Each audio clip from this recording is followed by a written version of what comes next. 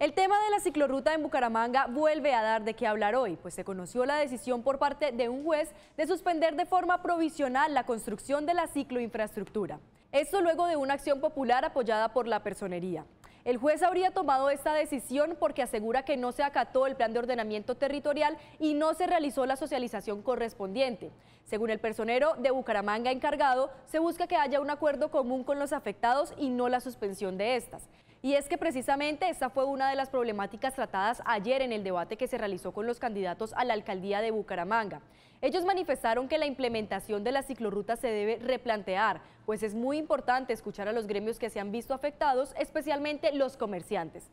Los candidatos coincidieron en apoyar las ciclorrutas, pero no de la manera como se están realizando, especialmente en cuanto a los diseños del trazado, pues aseguran que afectaría la movilidad en varias partes de la ciudad.